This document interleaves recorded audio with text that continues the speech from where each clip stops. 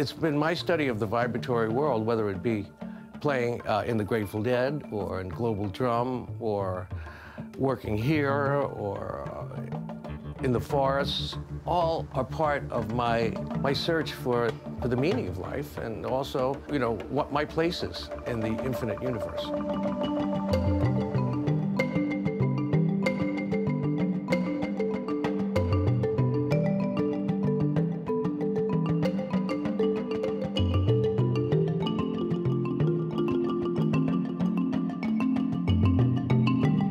Just like nourishment for me. That's how I look at music. It's like food. Without it, I die. I mean, I wouldn't be, I wouldn't, I wouldn't be able to function.